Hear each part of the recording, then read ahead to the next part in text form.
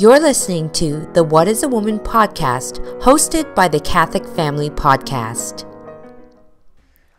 Hello, everyone, and welcome back to the What is a Woman podcast. My name is Holly, and as always, I'm joined here by my mother, Mandy, and we are super excited to be back uh, for another episode. But before we jump into everything, we'll just start off by saying, Jesus, meek and humble of heart, make our hearts like unto thine. So, uh, something really special this week. This is our 25th episode, Ooh. providing I haven't lost count and didn't mess up count somewhere. But I'm pretty sure I label them every time I export them. And this seems to be number 25. So, Our silver I- anniversary. Our silver anniversary. I think that's a big milestone. So, uh, we'll party later. party later. um, so, anyways, um, yeah, so we're excited and um, happy to be back. And um, I just, before we jump into everything, I wanted to just share a quick little thing. Um, last Saturday, I was able to make it down for uh, Father Adam Craig's first Solemn High Mass. So uh, that was quite a blessing and quite a um, experience. It was my, I, I may have been to a Solemn High Mass before when I was a kid, not any that I would remember. Yeah, I so know. Yes. I'm going to count this as my first Solemn High Mass, and it was. I will say I found it hard to actually pray the Mass Yeah. because I was so like the singing In and awe. the in awe of everything that was going on in the altar and like the singing. And I have to say, it was at Father Radecki's parish in St. Joseph, uh, Wayne, Michigan. Um, and he has a bell. They have a bell Yeah. tower. Like not it's not a tower, but it's a steeple. How wonderful. And a little bell. So when they when the priests and, and the clergy were coming in, they rang the bell while the choir was singing Like a steeple it bell. Was, yeah, it was like, Yeah. like, and so somebody's up in the choir loft pulling the rope. It was like you were in the Sound of Music or something, Right. And um, and then at the consecration again, they rang the bell. while they rang the bells at the altar, but they rang the big Wow. steeple bell. It was beautiful. It was just beautiful. And um, my husband even came, and uh, my husband, who's not Catholic, came, and he went to the mass. And uh, he thought it was very nice. He said it was very nice. So Yeah. it was. Uh, he said you could have shaved off 25 minutes. this is coming from a non-Catholic, and what he cannot wrap his hand, his head around. And okay, bear in mind, this is coming from a person of zero faith, no Yeah. Catholic. He can't get over the up and down. Yeah, Okay, No, and they can never get over the up never get over the up and down, the genuflecting, the standing, the sitting, and he's like. What is with all the kneeling and standing and sitting and back and forth? And I just kind of like, you know, like he's he's just being silly. He's not. But being no, they can never get over but they that. can't get over it. They can't understand why you can't either just kneel Or just sit. or just like, sit why can't you just stand. sit? But no, he he even said that. He goes, "Why can't you guys just kneel?" He goes, "I'd be fine kneeling. It's the up and down." Oh, he thinks he'd be fine Kneeling. he thinks he'd be fine. I often anyway, feel for those on the altar when Yeah. I watch them on the uh, on the cold hard marble. marble floor. Yeah. yeah. So anyway, so it it was it was just beautiful. It was wonderful. We crossed the border, and uh, that was our first time in the states, and mhm. and uh, we won't be saying that. We won't be saying and that, ever again on the Catholic Family Podcast. I think we've said it a few times. We've said yeah, but we won't. said We're that. not going there. We're not going there. But anyway, so it, Apparently, it's not over. it was refreshing. it was refreshing to go into the states, and and and so now I have some, you know, God willing, some big summer plans to visit some people, and Yeah. uh, and uh, I'm really excited about that. Yeah, So uh, it's good to be with your good Catholic people's peoples. right. That's right. So also too, uh, coming up on Sunday we have Pentecost. We have Pentecost Sunday, yes. Right. So I was I'm hoping that uh, everybody took advantage of the novena. And Oh, saying- and I did just want to say before we get into that, there was one other thing I wanted to say. I do apologize. There were some people, and if you're listening, that wanted to talk with me after the mass, Uh-huh. and I missed a bunch of people. The there were so many people there, yeah, and Father Radecki's parish, the church hall, social hall, the basement there, it was packed. right. I was ta- trying to talk to Sister Josepha, and I was trying to talk to some other people that I hadn't seen in a while, and I couldn't barely get near them. Right. It, it was there were so many people, and it was just it was like a It would have been nice to see Sister Josepha. I haven't yeah, seen her. I haven't seen her since girls' camp. I know. She She's came. wonderful. She was one of our first nuns that came for girls' camp here in Canada. Mm-hmm. love her. And she was just such. She made such an impression on me. So it was so good to see her. And uh, you have to know, I have two sisters, and we all kind of like when we were kids. We looked. People often said we were triplets, right. but we weren't. And she walked up to me and she was like, Holly, Heather, Ronnie? Like right away. she knew I was one of the Dravic Yeah. girls, but she didn't know which one. So she was like, Holly, Heather, Ronnie? I was like, oh, Sister Josepha, I love you. She's just just like that, that bright ray of sunshine. You know what? When I think of her, you know what I think of? You know when you see like the old timey postcards or whatever, and the nun on the bicycle, you Yeah. know, like that. She's that nun, you Oh, know is she? you know, she was that nun. Well, she was fun. The, Yeah, I she's really the fun. She was her. just, when, especially when you were a kid, she was that nun that every kid. I felt like, anyways, for our girls' camp, Uh-huh. Yeah. every child gravitated towards Sister Mary Josepha. I am. So it was good to see her. I haven't seen that was Like we're probably going again. on I really, like twenty I really years. like to see her. Hopefully, she'll come to Canada someday and Yeah. with us. Yeah. So, Anyway, anyways, moving on. Moving Pentecost on. Sunday. Pentecost Sunday. I'm yeah, still flying. she's high flying high, and even I had a good friend of me, a friend of mine. Um, she was flying high too. She was there. You didn't get a chance to talk to her Yeah. either, but um, she's like, she's like, call me, call Yeah, me, so I can. yeah. and, she, and I called her in the excitement. She was so It's there. There's honestly just thrilled, and she had such a high on life. And I think I think many Catholics and maybe you ladies who are listening can weigh in in, in the comments if this is maybe just we it maybe if we just feel this way because we're Canadians and we're so kind of like I don't want to say apart, but we kind of are. Like when you're in America, you you hear America. Of, America, you hear of all these. Uh, that's my best American accent for you. We met the most delightful lady at Hobby Lobby, but man, she had a thick American accent. And my husband was laughing when she said, hobbylobby.com. That's my best American accent. I'm not making fun of you guys. I love you. um, and to be fair, people say we have Canadian accents and they impersonate us. So, anyways, but um, where was I going with that? Oh yeah, we we um we do feel apart because, especially with the mm, what happened in the last three years. You know, the states, like you're so, you can just travel to this state and go to this parish and go to this function. And there's so many um, different parishes that you can travel around and visit within the states. But here in Canada, there's not very many. How And- about none? uh, yeah. Well, no, there's missions. Like, you Yeah. know, we have a couple. We have the Whitby mission. We have this, but it's not the same. Yeah. It's not the same as what you ladies have in the U.S. So, uh, if I could just say from an outsider, maybe I love being Canadian, but I do kind of get a little green eye over the what the Americans have. Treasure that Yeah. and be grateful for it because you know even like father Cepeda is having this one yeah. day uh, meeting of all the confraternities can come to denver like and i can't go to that it's just too far Right. you know so it's very like we're kind of up in the great white north and Yeah. you know we don't we don't get to be party to a lot of these things Right. so it really is a big deal when you go to these things because we don't have them Right. you know, the ordinations and this and that. And it is a big trip to go to these things. Even, you know, it's like a three hour drive for me to go down, Yeah. just almost three hours. Um, but it's a big deal. You know, you're going into another country. You're, you And know, you never know, like you get to that border and they can turn you around for no reason, just because they don't like the way you yeah. look. Any reason at all? They don't. They don't. Well, There's they don't even have to give you a reason. They don't even have to give all you a reason. All they have to say to you is you are inadmissible to this country. Yeah. You know so No. so anyway so i just it just is a just a, such a blessing to see the catholic i'm going to use the word catholic culture Yes. which i feel if i'm being honest we don't get a lot of that here No.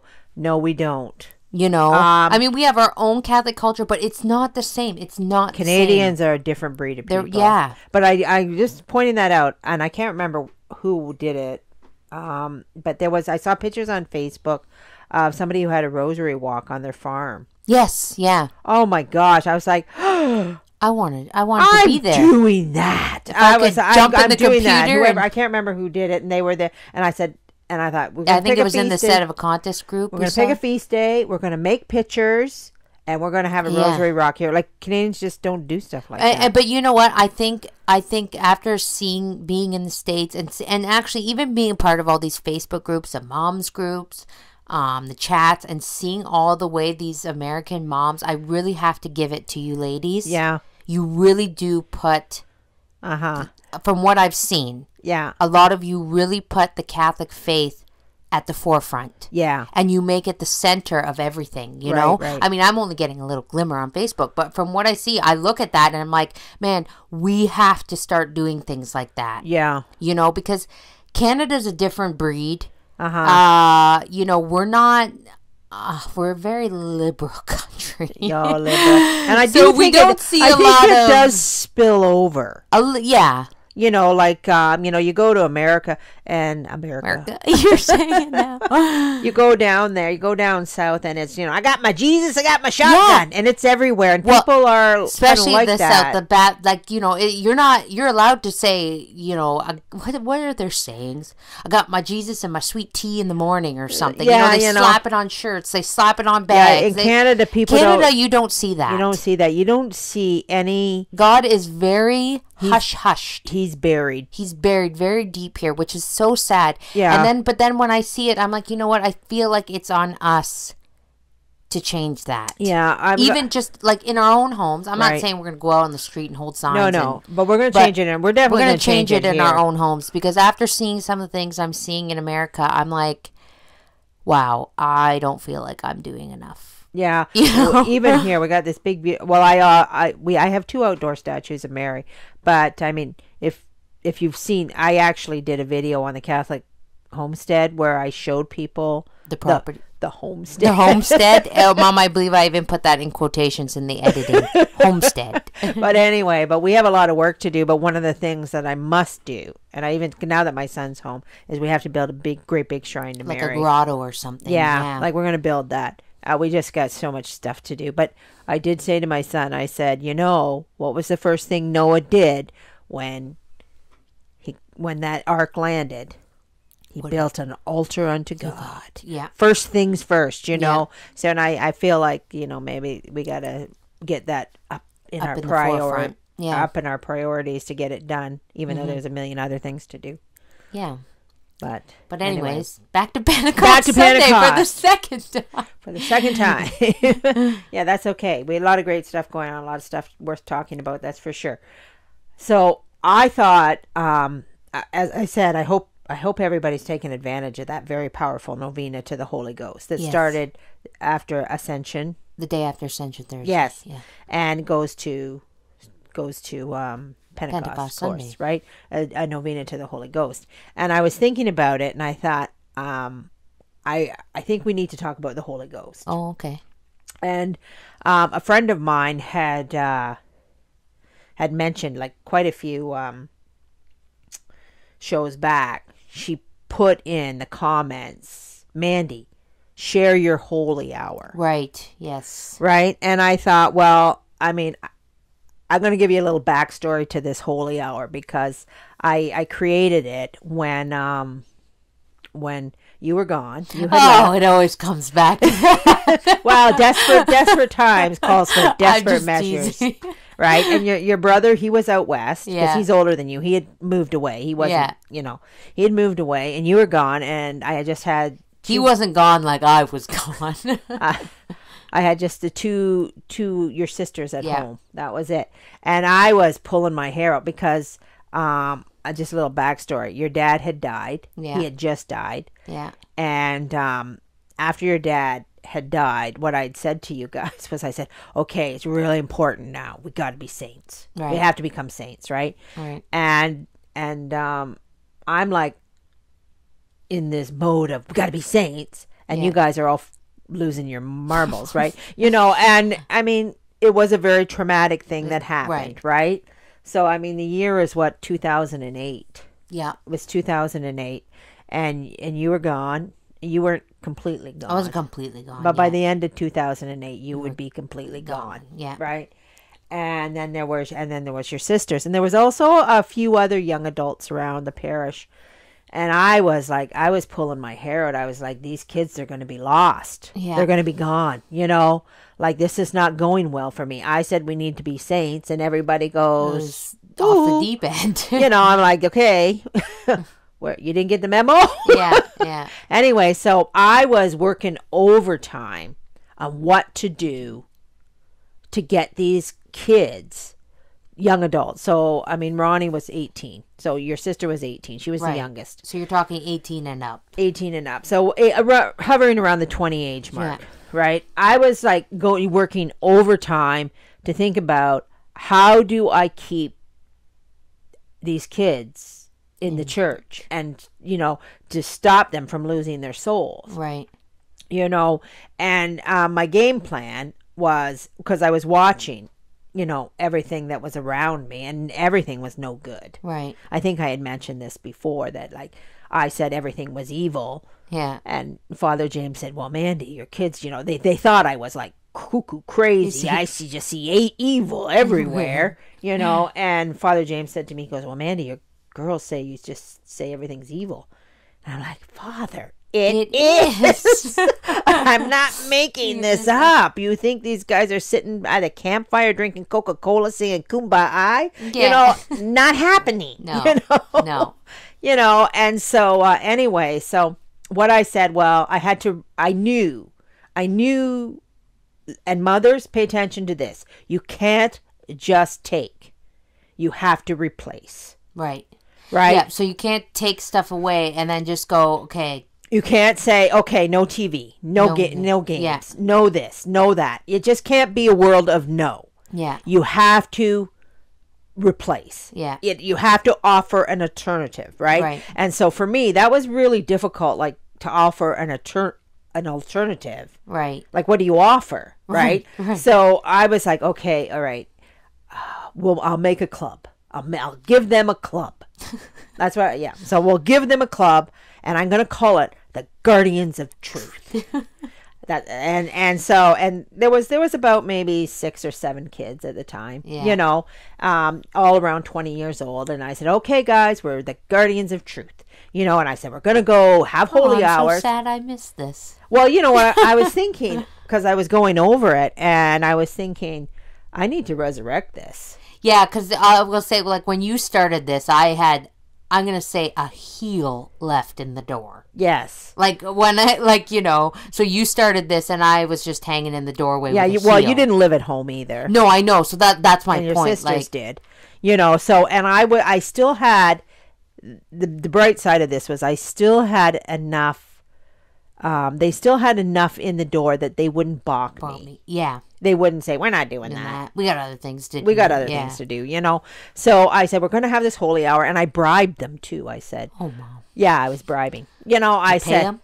no chicken wings. I said, Chick- well, oh yeah, tw- twenty-five cent chicken wings I said, well, Joe's. yeah, I said we'll go to a holy hour and then we'll go for chicken, Chicken wings, wings. and I'll buy. We'll have chicken wings, you know. So the holy hour was not on Friday. it was Tuesdays. It was Tuesdays. That was when the cheap wings were. So. Yeah.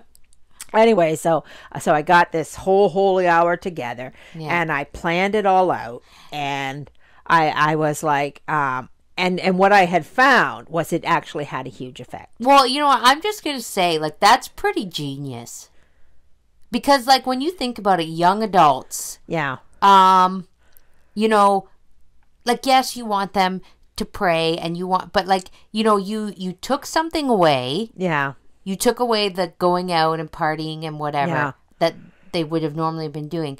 And you replaced it with supervised fun. yes, Like the holy hour was the main focus, yes, obviously. But you also added in a caveat yes. that gave them some socialization afterwards. Yes. And something fun to do. Right, right. That's yes. pretty genius. Well, I mean, I'm desperate. Desperate times calls for. Desperate no, I know, measures. I know, but like know? and I like I feel like I just want to spell this out and I don't mean this to be like I don't want to, you know, shock anybody. You have to understand the children that my mom was dealing with were not the kids that were like for fun. Let's go, you know, hang out with a bunch of Catholics and go bowling after mass. Yeah. Like the, these were not the kids. The, we were very worldly, Yes. and we had like I had left. My sisters didn't leave, but we were all very worldly. Our Yes. main concern was that of the world. yes.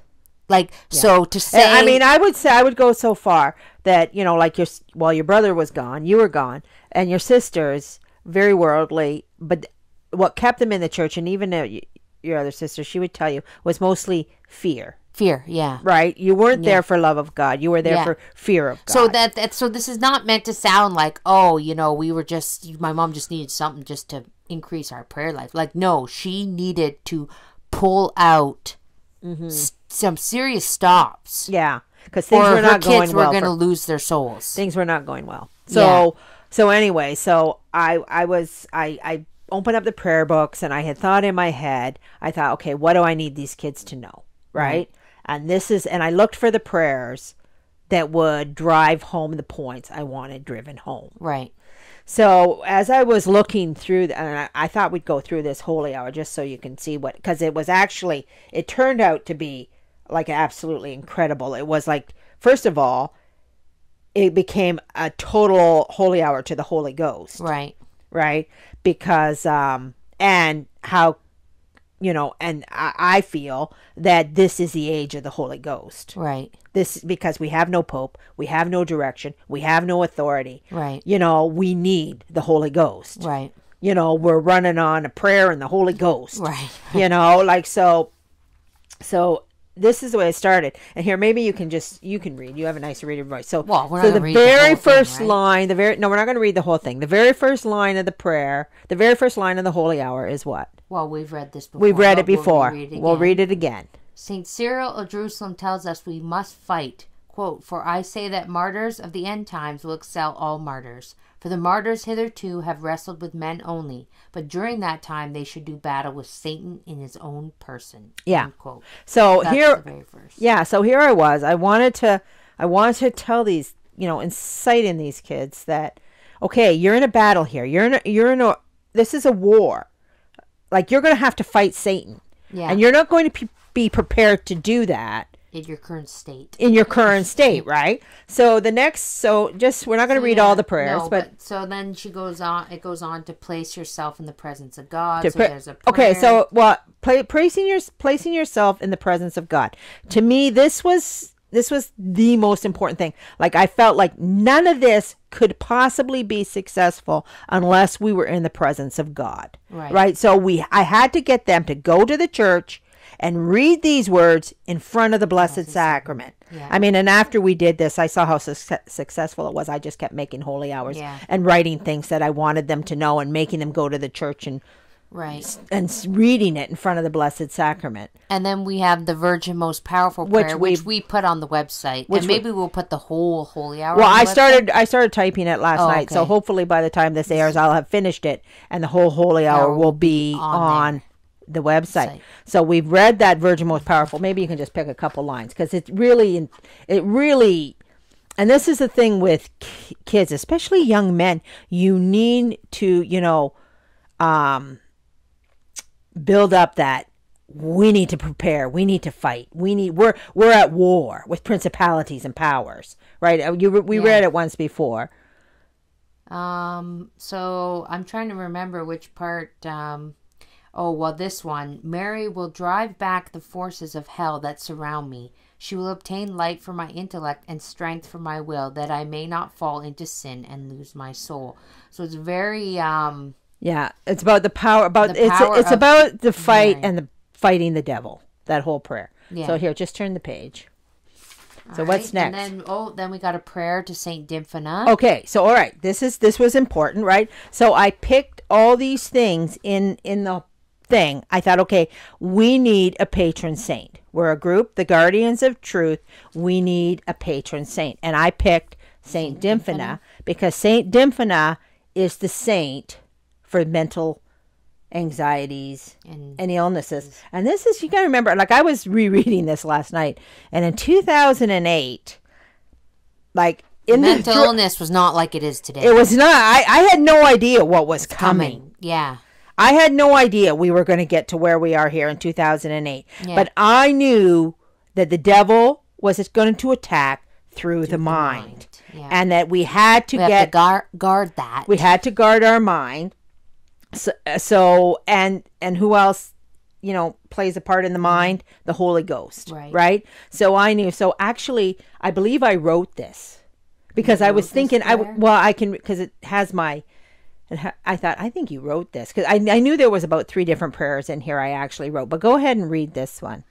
Saint Dymphana, patron saint of the mind, through your intercession we call on Almighty God, whose power will always reign supreme and just, and as promised will triumph victorious over the evil deceits of the Antichrist. That's what tells me I wrote this. Oh, okay. The word Antichrist. we beg of you, Saint Dymphana, to take charge over our minds, to guide us and help us ward off the evil predator that seeks to destroy us through insanity.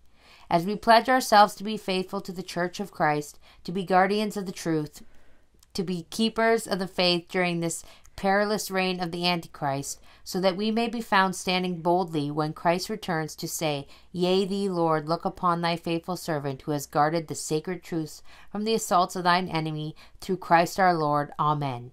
Okay. I'm just gonna say, you know, it's funny there. It's like, you know, when you're watching a movie and they're like, "Oh, they said the name of the movie in the movie." That's I know you wrote that because it says Guardians of Truth in the prayer. right. I wanted to I wanted to get these kids to understand this was an important job. Yeah. Right. If they fail, who is going to Going to take take their their place? place. Right, Right, right. You know, so and then after the so it's Saint So after that is the pledge allegiance to the cross of Christ. and I well which the very first line is is an actual prayer. But then after that I write again. So Yeah. read read that part again. this part here. Yeah. To defend and guard the one true faith give given to us in the perfect form as God has dictated from the assaults of the Antichrist, to pull it free from all the isms the snares of the Antichrist has laid to tri- trip us up. Modernism, humanism, liberalism, naturalism, to learn Okay, can you can you just stop right there because Yeah. I just want to make a point about isms. all the isms. If there's an ism after a word, it's a heresy. oh. Okay?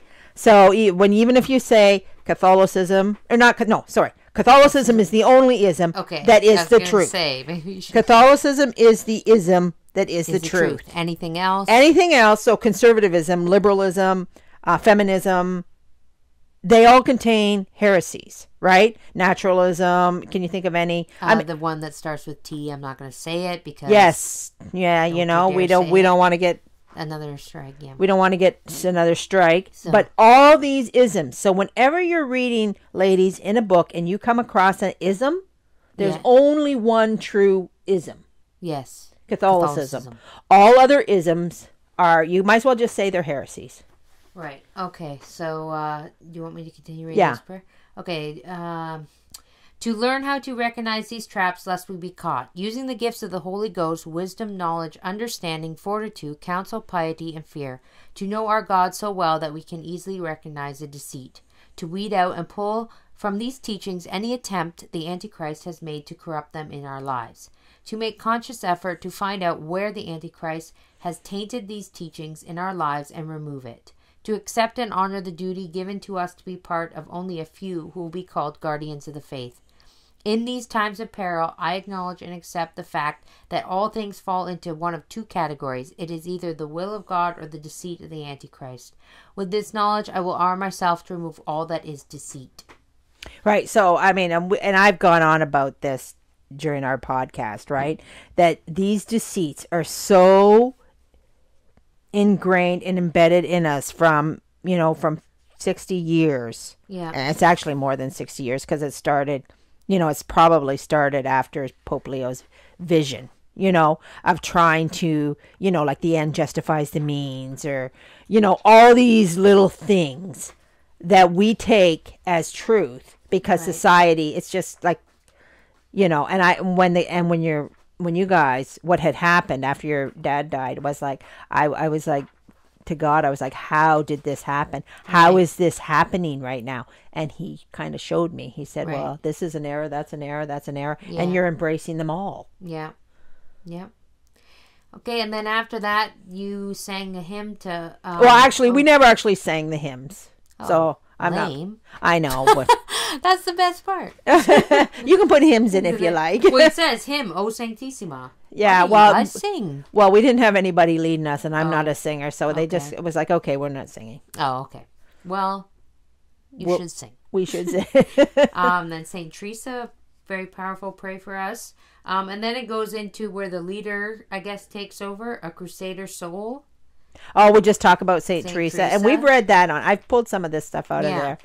I mean, we'll put it out. I don't want to read the whole thing. No, well, well, I'm just reading the stuff that I wrote, like I'm because the other stuff is just basic prayers. Okay, and then the litany to Saint Dymphna. Okay, yeah, which is good. Paying attention to Saint- in there. yeah, Um, okay, and then there's more leader parts, and then all respond. yeah.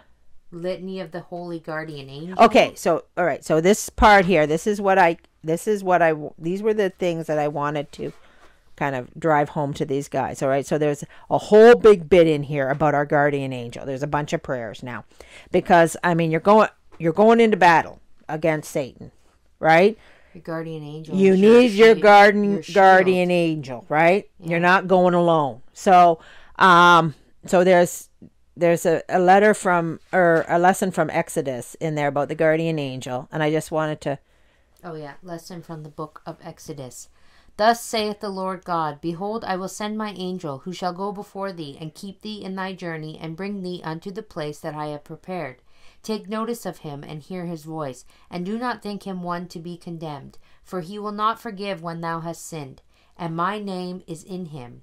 But if thou wilt hear his voice, and do all that I speak, I will be an enemy of thine enemies, and will afflict them that afflict thee, and my angel shall go before thee. right. Yeah so isn't that that isn't that a little powerful right? Yeah. because i want to point this out people don't under, really understand. The de- so of course like so the prayer the book the prayers are dedicated towards fighting the devil right. Rising up fighting the devil. So um the, your guardian the devil cannot get your guardian angel is more powerful than the devil. He mm-hmm. cannot get at you. He has to go through your Guardian angel. guardian angel to get at you. So if he's got at you, that means your guardian angel has stepped aside. right and that tells you why. So Yeah. read that again. That's why. I will be no not the whole part. He says if do not think him one to be condemned for he will not forgive when thou hast sinned. And my name is in him. But if thou wilt hear his voice and do all that I speak, I will be an enemy of thine enemies. Right. afflict them that afflict thee. yes And my angel shall go before thee. So the thing with your angel is you have to listen to him. Yeah. You have to get rid of vice. You have to get rid of sin. Yeah. You have to do. You have your your guardian and, angel is there. and to know that if your guardian angel does step aside, it's for your good. it's for your benefit, right? for he your doesn't. benefit. He doesn't do anything. He or allow anything to happen to you that is not for your benefit. So you have to have that confidence yeah. that comes with knowing, you know, the bad that comes to you comes Yeah. through your angel because it's necessary. Yeah. Okay, so then there's a prayer, and then there's meditation on the words of a true pope, Leo the Thirteenth, which has a whole lot of in there about against the true about truth, truth. Maybe just read it. Pick a couple lines and read them. Uh, each one is under obligation to show forth his faith, either to instruct and encourage others of the faithful, or to repel the attacks of unbelievers.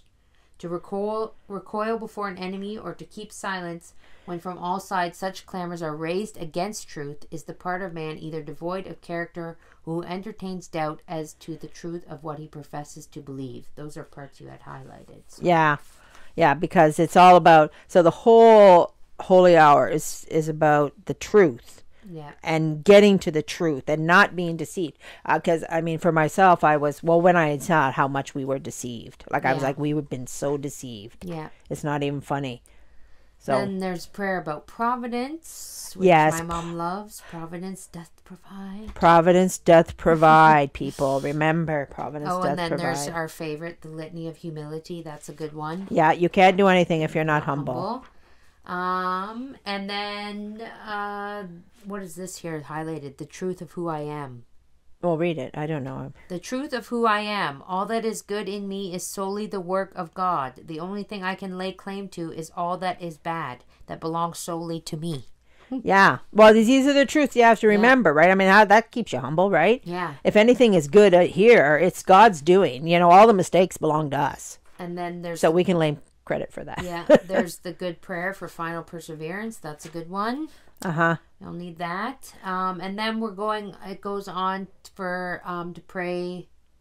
Uh, Mary, model of personal sanctity. Yes, that in that in that prayer, and you know what? We have these these prayers come from a book called One Minute Meditations on Mary, Yes. and we're we're actually going to get Ava to read them and maybe put them on because they're only one minute. They're very very short, and if you read down there, if if I don't. What God wants of me, I, I haven't have it memorized. What if what God wants of me is that I become a saint? Yeah. How can I lead others if I do not become a saint? And if I do not, be, uh, what good is it to me that others are saved and I am lost? Right. right? So the the very first and most important thing that you have to do is become a saint. And these are all the these are the points I want to drive home. Right. So Okay, so and then there's another hymn in there that you guys probably didn't sing. Come Holy Ghost, one of my Yeah. favorites. yeah. Um, okay, and then um we go into the Holy Ghost. So act So- of consecration to the Holy Ghost, the prayer for the seven gifts of the Holy Ghost, and then this looks like it's the litany. Yes, the litany of the Holy Ghost is in there. Now this incredibly enough when done in the ho- the actual holy hour because this is a 9-day novena Right. that I put into a holy hour. And you guys said the whole thing? They said the whole things with the and at, at at the end of each little um you know like you're meditating on you know the gift of piety say and you do the um one our father one hail mary and then seven glory bees to the father Right. and what when we were doing this um novena and we would do the seven glory bees i was it was to me it was says those glory bees were like giant hammers to me Just pounding the truth home. That's like every glory Yeah. be like we you're the nail and that glory be is like the pounding the truth into your head. Uh, can I just ask, was this a holy hour or a holy two hours? I think it was. Uh, well, we got so at the beginning it took a little longer, but we got You so, got so good at it that we got kind of fast at Oh, it. I okay. think. Uh, Not that I'm like No, it's pretty long. fine. I mean, I'm that's probably saying. why we didn't sing too. like or we've been all the, the whole or sang if you if you prayed the whole novena, that's a long novena. Okay. Okay. All right, so I'm just gonna skip through this novena here. yeah. Um, the sanity of sanctity. yes, another of my favorites, Another right? of My mom's. It's all about becoming a saint. Saints, so, what does it saints, matter in light of eternity? yeah. right? So you got to look at all things like what does this matter in light of eternity? Right. What does it matter what color the toilet is? Just a fight I it- had. what does it matter what a show's called? you ladies remember from last week. We're not going down that road again. Okay. and then Virgin Most Prudent. Um, a nice prayer to Mary there. That's a that's another prayer. And and then we're and then actually in prudence, just the very beginning of the line, prudence, is a virtue of the truly, truly successful. Yeah. Right? And then of course a love the lovely prayer from um, Pope Leo the Thirteenth to Saint Michael. The, lo- and that's how we end, right? Okay, and it's the long form. And if you've never heard the long version of the prayer to Saint Michael, it's all about fighting the devil. Like it's you're ending him, Michael Prince of all the angels, which you probably didn't see.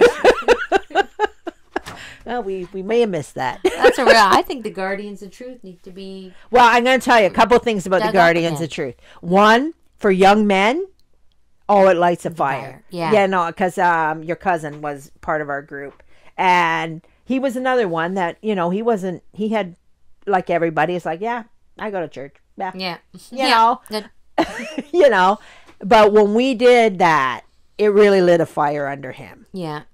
Like when we was, and he he was the one that said to me, he said, "Those glory bees are just like, oh, glory be to the Father." Yeah. you know and and and it lit a, it really lit a fire on him that another uh, another one of our listeners out there don't know who who she is uh, her husband was part of the group Yeah. so he uh it really um it really drove home to that to those guys Yeah. Yeah. things you know and so and uh, and just so we're clear uh, just so i let you know when i put together the holy hour our priest at the time was father mckee Mm-hmm. and father and i gave it to father mckee first Yeah. And I said, please look over this Oh, so he looked over. So he it was it was all looked over by Mm-hmm. a priest, and he gave it back to me and corrected all my errors, my spelling errors, my grammar errors. He said, "Yeah, that's nice, Mandy." Two spelling mistakes. But anyway, so so that's um we're gonna put it up on the holy. Uh, we're gonna put it up on the The website. the website I'll put a link in the so that you can have it. But um, you know, I just wanna. You have to get creative, right? yeah, Like if you're losing your kids, or even if you're not losing your kids, if your kids are still young, you have to instill this in them. yeah, And I mean, I'm going to tell you, it benefited me. yeah, You know, yeah, the two left behind, they they they perked up. yeah. They perked up because of that, and and the kids there too. And um, you nor your brother have ever said it. I've never said it. So I was thinking Maybe that we need to bring it back with the new next generation. I We would should do yeah, you we got a 14 year old got a daughter. fourteen-year-old. Yeah, so I was thinking It we're needs we're to be a guardian of truth. needs to be a guardian of truth. And um, I was thinking that we'll ask Father. We're going to just, you know, just private. Like, I mean, obviously there's prayers in there that because I wrote, I wrote a couple of them. Yeah, yeah. you know, that aren't a church approved. And even though I'm, I mean, but you can if you're saying something privately, you can. yes, pri- private use. Yeah, it's Right. It's not. Yeah. But So yeah, anyway. that's nice. So Yeah. um, So take this. This is my dedication to the, the Holy The only thing I'm gonna say, just as a side note, though, what? 25 cent chicken wing night is no more. Oh, what are we gonna do after the holy? Well, we'll think of something. but no, that's yeah. I remember 25. I didn't go to the Guardian's Truth, but I remember the 25 cent chicken wing night. Yeah, they might have something. They might have something. I'm just being silly. Anyways, um, yeah. So, I mean, we've got about 20 minutes left. Do we want to dive into our book this we week? do. We do. Okay. Let me just find the book here. I, I've numbered it. I've tried to make notes. Because tried. we left we left off on chapter 10 um we are on pi- the chapter of piety right. so we're we'll at- just go ahead And I think uh, hopefully in 20 minutes we can finish this up. oh okay Okay. Speed read. So um right I I just I didn't because it will be too long if you read what's written above there. yeah But it's it's going into I believe um no I've forgotten. I just did this and I've forgotten already. I do have a a short it's it's going the book is talking about serving God versus husband. right right? So there's a whole bit about that before, but I want you just to start where I. where you marked there okay Yeah. on the contrary uh, quote on the contrary, in whatever circumstances we may be placed, it is an obligation for us to act for the glory of God and to have no other final end than that of pleasing Him. End quote. Right. Okay. So so they're talking about serving God versus serving a husband, and I didn't. Okay. And um, the thing about um, when we're serving God, we serve God by serving our husband. Like that's how we do it. But if we're always obedient, we're always. I mean, minus sin. Okay. I mean, but I think it goes back to that if, if you're putting the will of God first and you're letting God guide you, then you're yeah. Then you'll be doing his will and in turn you'll be serving your husband. Right. But if you're doing it backwards and you're putting your husband first, you're not going to be thinking about what God wants. Right, right. Obedience is always the key to these Right. things to success is obedience, right? And I know that does sound when I just said that I that sounds very like do the will of God and everything will be fine. I didn't mean that to come out like that, like so flippant, you know. well, Like, I, I, you I what- okay. understand that it's not that easy to be like in every I'm doing the will of God. Like I get that life doesn't work like that. it should. It should, But- but, it's not. It's not.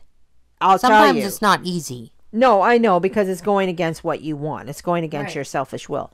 So, and I mean, a husband is like that, right? You're two selfish beings that united together Yeah, and decide to get married. right. You know, and now he's head over you, and in order for you to serve God, you have to legitly Yeah, serve him and be obedient to him, right? And um and who wants to do what somebody else tells them? Said no Right. person ever. yeah. I know. Yeah, sure. Sure. I'm gonna get right at that. You know.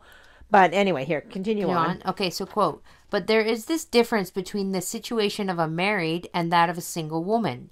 that for the latter the means and the end are in some measure identical, while for the former the means are totally distinct from the end, and can be referred to it only by an act of the will.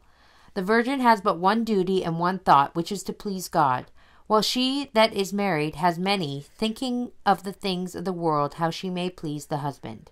All are obliged to have the same end in their actions, but these actions or duties vary according to the different states of life. End quote. Okay, so what they're saying, a, single woman, she serves God. So the means and the ends of how she does that is exactly the same. She's Right. serving God, right?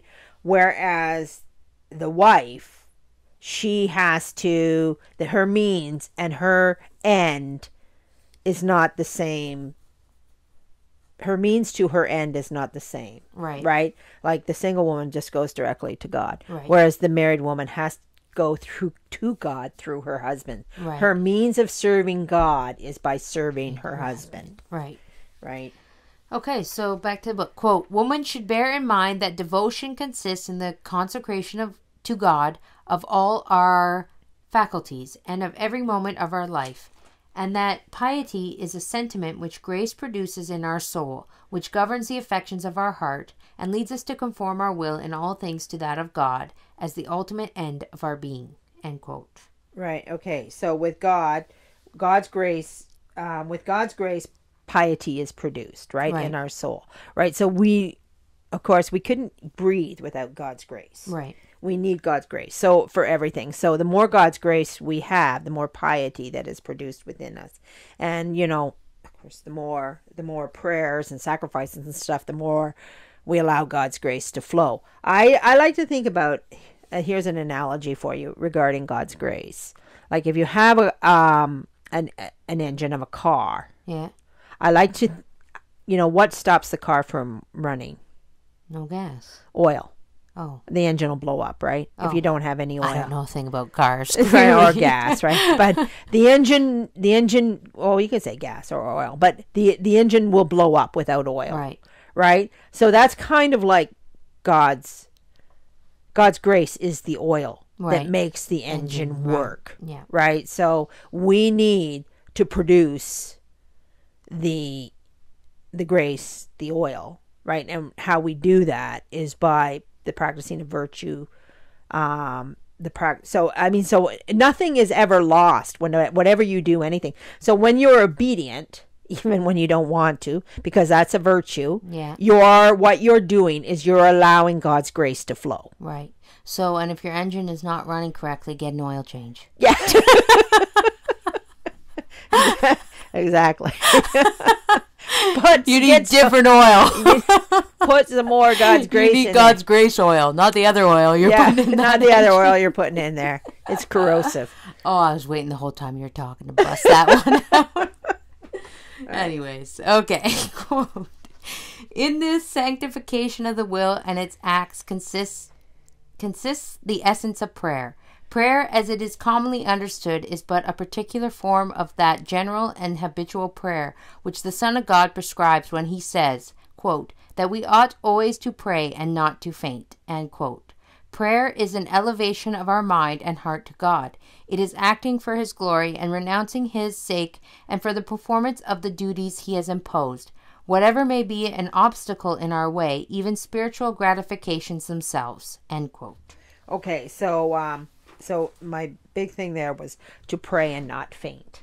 Pray and not faint. Yeah. right? You know, like you know how um and when I think of the word faint, I think maybe anxieties, depressions. I can't Well, faint, Go to fainting my is. bed. I guess know. fainting is a sign of weakness. Yes. Right. Like so, I feel like it's a like it's like to pray and not faint, to not be weak, to not Yeah, to like to stand to stand firm. Yes, that's the right? You know, for. and and what it continues on to tell us that when it says to pray and not faint, it doesn't exactly. What was the last line? Can you read the last line there?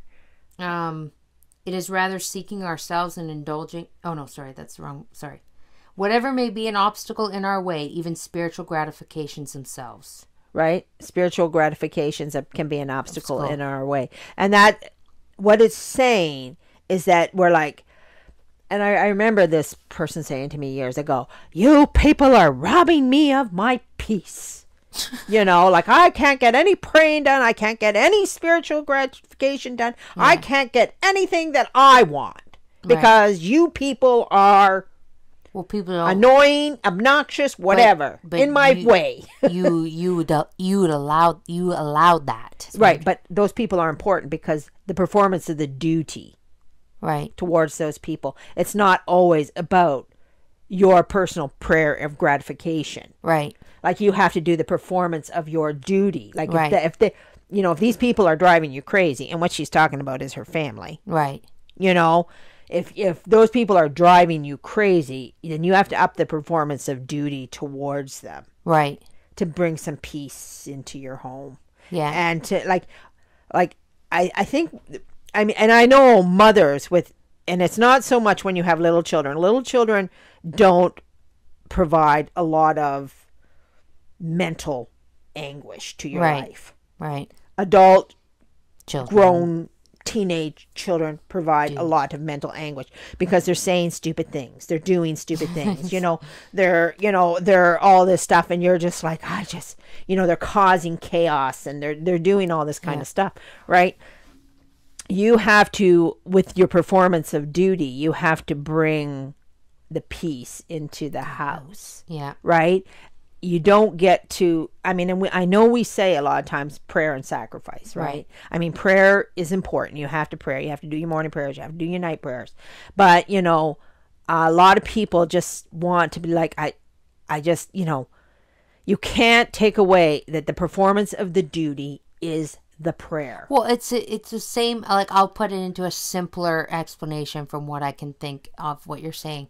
In my mind, you know how people get like with young children in church, Yeah. right? And the mother is like, I can't pray during mass. Well, your duty, like God understands that right now, your child, you have a baby that's crying. Yeah. that's your duty right now. That's your duty right now. is so if that baby cries during mass, you are allowed to get up and go sit with that baby in the vegetable or the cry And room and or if you- whatever, and, and if- God understands that. and if you if you have to take them to the car, you have to take them to to take them to the car. Say, that's okay, your this is too duty right now. Like You're you too can't much. you can't be like it's mass time. I'm praying. You can't Yeah. say that to a baby. You know. you know, right? So this there's So that's where your duty. there's so many instances where your duty does overtake your ability to, pray. pray. I mean, and Yeah. even that um, when the Pharisees tried to trip Jesus up and said, "There's an an ox in the hole," right? Yeah.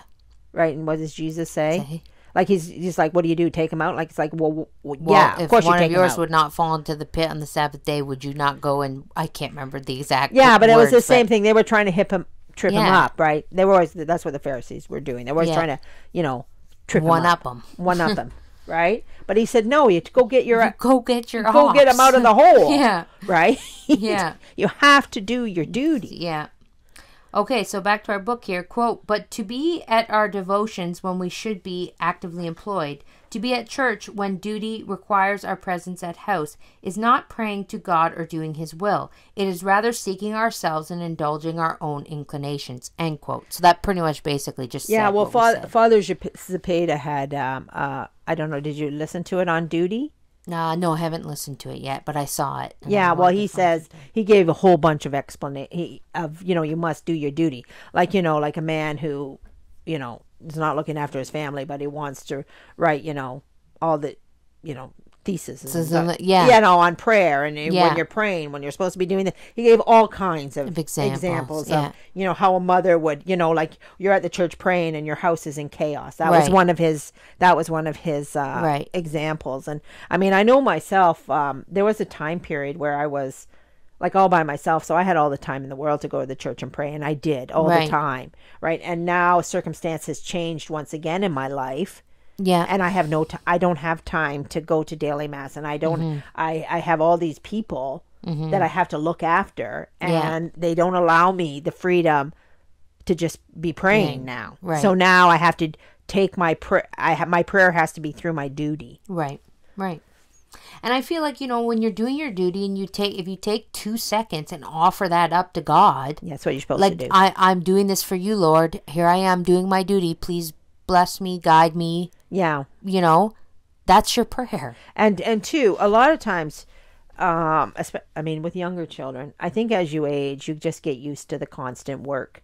Yeah. Right when you when you have brand new babies, it's overwhelming that how much work you have to do. Like, well, you've gone from being single to all of a sudden this baby that Is you know crying and pulling at you and demanding tell- your attention. tells you. I mean, the first baby is always a really kick in the head. Yeah. like it's a real kick in the head because you don't you don't you know you didn't know what it was like to have somebody at you 24 hours a day 7 days a week oh i'm just going to sit down no you're not Not, well, and I'll just tell you, I, I, when my daughter was born, we brought her home from the hospital, and the first night we were at home, mm-hmm. she screamed the whole night, yeah the whole night, yeah screaming like, and we didn't know what was wrong, and uh, I think we just overfed her way too much formula or something. I don't know, but anyways, I remember in that moment thinking, "Oh my gosh, my life is over." yeah Like, am I ever going to sleep again? well you don't No, I know. Like I was just like, my life is over. My life is over. This baby is like my life is over. You from yeah and then You, i mean we went from sleeping when you want to sleep, sleeping in if you want to sleep in, getting up when you want to get up. You know, eating when you want to eating when you want to eat, going out when you want to go and out in an You- instant, an instant. Like it was like one Is day it- this was my life, and then the next day it was like I have no freedom whatsoever. you know and i mean and this is it's this is not to bash new moms Mm-hmm. because it is a re i had the re i remember i had the reality check i just like oh wow Yeah, you know like and you get oh so this is so much work and then by the time you have your second baby you you're like, ugh, whatever. you didn't you don't know why you found that first So- one Well, because So it's much work. so foreign to you. but you found it so much work because you never had it before. you never had it's a new work that you uh, work that you can't even uh, uh, i will say this a work and a duty and a and a, a responsibility that you could never fully explain to someone could never understand No one unless can they've understand done it it unless they've done no one can understand can't- it they can't understand unless understand. you've done it And so, and then by the time you have the second one, now you're running after a toddler. So now you've had maybe one, two years Yeah. of of this life of it's no longer your own. so you're used to it You're, you're used to it, and you realize that the baby is just kind of a blob that doesn't, Yeah. unless it's colicky or something. Yeah. But generally, they're just very uneventful Mm-hmm. until they start to move. yeah You know, and um, and so, and then as you get older, it never goes away because you know then. When they're of an age where they're starting to be independent, then you have to then stay. that's grabbing your attention then you have to stay up all night fretting about them being independent. Yeah. You know, like it just it, it kind of never ends. It does. yeah. It actually does end. Eventually, they all move out and do something else. But and you they all move out and then you don't care is that what you're saying you don't care No, you never. You always start. You always care. You. it never goes away. Never goes away. Okay, uh, so we'll just read one more little bit from our book here before we wrap up. So, quote When the Holy Ghost wishes to place before women who are engaged in matrimonial life a pattern of female excellence, he does not exhibit a wife absorbed in prayer and contemplation, but a woman active and vigilant, employing herself in manual labor, providing bread for her family, rising before daybreak to give victuals to her maidens with the fruit of her hands Victuals. victuals, the fruit of her hands planting a vineyard, strengthening her arms for work, occupying herself with the spindle, relieving the wants of the poor, protecting her servants against the cold of winter by supplying them with double garments, looking well to the paths of her house, and not eating her bread in idleness. Such is the woman who will be loaded with blessings by her children and will receive all honors and praise from her husband. End quote. Thus will be the woman loaded with blessings and receive all honors. That is the strong and valiant woman. Woman. Yeah. You know, the one who does all the duties and all the work. The victuals is that food, I think. Yeah, victuals. You know, old old word there. Um, but basically, you know, looking after all the people. I mean, back in the day, she had to look after servants, and Right. You know, Yeah. So maybe some of this isn't. You can take what you want from that. I don't have any servants. I don't know about anybody else listening. no, the only servant in this house is me. Yeah. okay. Update 2023. You are the servant. you are the servant. Let that sink in. Okay. All right. Actually, we, just have a couple Yeah, just a little bit more. Might little as well more just get paragraphs as the chapter, and then it's done. So, quote: One of the essential characteristics of piety is to make us humble in the sight of God. Sever our sever to ourselves. Oh, sorry, severe to ourselves, but patient and indulgent towards others. To be always inspecting the conduct of noticing the faults of our neighbor, while we are blind to our own imperfections. To boast like the Pharisee that we have not those vices which we observe with the secret satisfaction in other people to be impatient a contradiction, humiliation a reproof, to seek always our ease and what is agreeable or flattering, instead of bearing about in our body the mortification of Jesus. To be always dissatisfied with others while we are pleased with ourselves, our sinful defects, which give scandal and bring discredit upon religion. For those who are addicted to such faults, piety is nothing more than a cloak to cover their egotism and their pride, and sort of profanation for which they will render a strict account at the bar of divine justice. There was an ism in there. Was there Egotism. egotism? Yeah. I mean, we Heresy. I, we talked about that last week. You know, being severe with yourself and patient with everybody else. It's it's it's um it's pretty um what do you call that? Repetitive. Like yeah. the not judging is so important, ladies. I cannot Well, even and tell you. I'd like to point out here the one thing that I read, which um very important to note: give scandal and bring discredit upon religion. Yes. So when you you hear and you see it all the time on the internet, yeah. judgmental, judgmental. Catholics are judgmental, Yeah. you know, and that really it really does discredit the faith. Right. It is one of the biggest detriments to the faith, I feel, when you hear from somebody that you're trying to convert or you want to come to the religion, they will always pull that card out of Pull it their out of their card, My yeah. dad used it all the time. We did. Yeah. Yep, sin all through the week, but go to church on Sunday and you guys are great, you know? Yeah. Like so you have to and I'm saying this for myself included, you have to be very conscious of yourself Yeah. that you are severe with yourself but lenient and patient with everybody else. And then back to that Mary of personal sanctity. What good is it to save others and be lost myself? myself. Yeah. Right? Yeah. So the everything, you know, begins and ends with you. And Yeah. that sounds so narcissistic, but it's in a It's in a- different way. way, yeah. You know, like you have to become a saint. You have to you have to do the hard work. There was like you cannot judge anybody. Like judge and you know, and I know and this is what I think kind of happened because you know, we came into the the Novus Ordo where everything was free willy. Like, Yeah. you know, ooh, you know, you're saved, you're saved, Yeah, you're Oprah, have a car, everybody's saved. saved. It's all wonderful. Everything's good, right? Yeah. And the trish, traditional movement was like, okay, no, No, it doesn't work work- like that. You know, you don't just, you know, not everybody is good. And so we went to the other, Other extreme. extreme. Like trying to get no harsh judgment, judgment, judgment, and we're trying Yeah. to pound it home. People, no, you get judged, you get judged, and in the process of We forgot that God does the judging. of doing that, you know, and also to pointing out, no, these things are sins, Yeah. right? So we got all kind of, and oh, I'm speaking about myself Yeah. because that's the way I got. Yeah.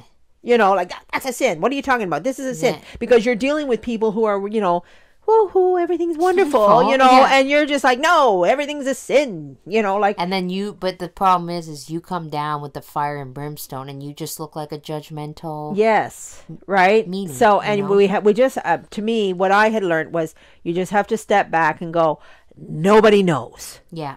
Nobody knows that they're going to get judged or that this is a sin or that you know nobody knows. Well, we know that they're going to get judged, but we don't know how. And No. we, it's not for us to wonder how they or why. don't know. Oh, I get what you're saying. We know, yeah, but yeah. they don't know. They don't think of anything except you know we're all happy and I don't even know what they think half the time. Yeah. But anyway, but the thing is, is that if we we have to just say they don't know. It's not God will have mercy, Yeah. right? Everything got turned upside down. Right. We're in an Alice in Wonderland here. Oh, aren't we ever? You know, the only way that we can get out of this Alice in Wonderland is if we take ourselves back to the early Christians. Yeah. right? And how did the early Christians? I mean, they weren't going around. This is a sin. That's a sin. No. They were so they inspired people by their actual Action. love and, And their the actions. You know, they were so people were so Drawn enthralled and drawn to them because the love they had for one another. Well, and I'm going to say they were drawn to them through two things. Yeah. Well, maybe not. These aren't the only two things, but when I read anything about a saint or see anything about a saint, what I feel so what people were drawn to was their humbleness and their piety Yeah. Right. And that and do- there's and there's no place in there for judging. Yeah, none. None. So, All right, let's just finish up our little last little part here of the chapter. Quote The portraiture which St. Paul draws of charity may be equally understood of piety. Quote Charity is patient, is kind. Chari- charity envieth not, dealeth not perversely. It is not puffed up, it is not ambitious, seeketh not her own, is not provoked to anger, thinketh no evil, rejoice not in iniquity, but rejoiceth with the truth beareth all things, believeth all things, hopeth all things, endureth all things. End. Let those of the sex who rake profession of piety examine their sentiment and conduct by the standard which is here furnished by the apostle. End quote. And chapter 10. right. What I what I would say back to, you know, the charity and the piety is you have to be the shining example of that. And then when people say, "Man, that's a good person." Yeah. Like that is a good kind person. Why are you so good and kind? You know, and I say, "Well, I love God or whatever." You know. Mm-hmm. And then they then they go, "Well, maybe I I want Maybe I need some of that. maybe I need some of that." Yeah. And then and then God's grace is in the engine Yeah. and God's grace tells them, you know, abortion is murder. Yeah, You know, like yeah. you know, like they learn it on their own mm. through God's grace. Grace. Like your example is what is inspiring them to actually learn it. Right. Right. You know? So I mean, you have to kind of look at it that way. Mm-hmm. And the other thing that I wanted to point out in the book there and I forgot to mention this. I did take a note of it. And I Oh. forgot to mention it. But um, when they were described, when they when you picture a woman, picture any picture of a mother, a good Christian Catholic mother that Yeah. they've somebody's painted a picture of it. What is she? What is she doing? She's usually tending to her kids or the house or something. Yes. She's working. She's working. She's not sitting in a chair fanning herself. You know, you know, she's she's feeding kids pancakes or something. Something, she's yeah. stirring a pot. She's ironing the clothes. Yeah. You know, she's doing those things. Even I have this. Uh, I have this huge thing for black and white. Uh, I don't know. It's not art, but it's like antique black and white portraits or something. Yeah. You know, but they're almost like printed pages. Anyways, and I found this one, and it's called Home Again. And uh, to me, when I look at it, I see a little dog that's been lost and comes home. Yeah. But there's there's a little boy and there's a little girl and they're they're petting the dog and they look really ex- happy to see the dog. And I have it hanging in my house. But the mother is very Christian looking mother, um, early 1800s maybe, and she's bending over and she's looking at the children. Yeah. Like she's not concerned about the dog, right? Right. But even in that moment, even though she's not baking a cake or sweeping the floor, she's tending to the, children. Yeah. And every piece of art I find, I'm when I'm out in antique stores, I'm always drawn to the art, the portraits of the mothers tending to the children, Right. and I and I scoop them up if I see them. Yeah. I I just You got love, quite the collection. I got quite the collection. I have my religious ones too. Like I found a beautiful one of our Lord in the Presentation, the Temple. Um, Vintage, really. vintage, nice. really nice. I'll take a picture of it and I'll post it on our Catholic Homestead uh, Instagram so you can see if you follow us there. But um, I I just love the the that's what that that is what our world this new age art. I Yeah. don't know. Ugh. Yeah. Well, you know, like it's just it doesn't usually present a lot of virtue. no. It presents a lot of lines, squiggles, and slop. I don't know. Anyways, but uh, I just wanted to throw that out there because that's so true. I never Yeah. thought of that before, but as you said that, the mother know. is always tending to the duty. Yeah. That's what makes it so. Yeah. pleasing. And I mean, I, I just think, ladies, we have to just put two things into perspective not to judge other people and to, you know, wear that yoke proudly. Like you're, Mm. when you're doing it, You're doing it to save your soul, to save your children, and this is what God wants of you. Yeah. You know, and it's and it's producing grace. Mm-hmm. It's allowing God's grace uh, to, flow, flow. right? Yeah. I mean, I don't know. It's a, it's allowing God's grace to flow, Yeah, definitely, yeah. right? And this is what you want. This is how you get a peaceful home. Yeah. All right. So I guess we'll leave it there for this week. Um, we're a little over an hour, so if you're still with us, thank you for How much are in. we over? Oh, just 10 minutes. but in a podcast, that could seem like a long time. So we'll wrap it up there and we'll be back next week um, for another exciting episode. And um, as always, if you have any questions or comments, uh, we love to read them. Put them in the comment section there. And uh, look for the holy Look hour. for the Guardians of Truth. Hopefully, by the time we post this, my mom has typed it all out. Um, if not, it'll definitely be next week. Um, so, anyways, have a very blessed week. As always, may our Lord bless you and Our Lady guide you. And Saint Teresa, Teresa, pray for us.